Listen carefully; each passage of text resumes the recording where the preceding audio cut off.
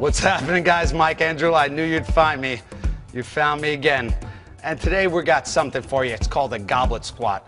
And uh, a man named, I'm gonna name drop here, Tom Venuto showed me when I was working out with him. I'm not too scared of him saying this because he reads those like those things with like the pages and the words.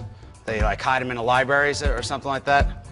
So I'm not worried about him seeing this on YouTube, but we're gonna do a goblet squat. So basically, instead of putting the weight behind the neck, which is kind of a little bit dangerous if you're doing heavy weight. We're gonna keep the weight in the front on the squat. We're gonna use the hands like you're holding a goblet, right? We're gonna drop the butt back. Start out with a moderate weight. You kinda, I, I'm gonna, just for demonstration purposes, I'm not gonna keep it all the way on my chest, but you wanna keep that weight on your chest. Shoulder blades pinched together, lower back contracted, butt out, drop your butt down, squeeze the hips forward.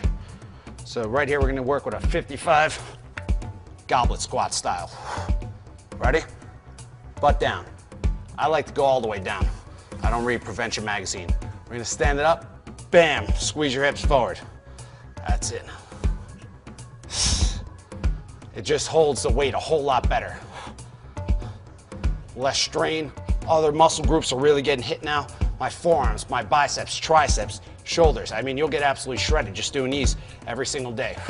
We're looking to do about 10 to 20. Hips forward, hips forward. I'll show you a couple from the side. Really grab that, that dumbbell, shoulder blades pinch together, butt out, lower back contracted. Let's hit it. Bam. See it again? Bam. Watch out. One more time. Bam. And there you have it, guys. Goblet squats. It's amazing. It's dynamic. It's Dynamic Intensity. I'm Mike Andreula.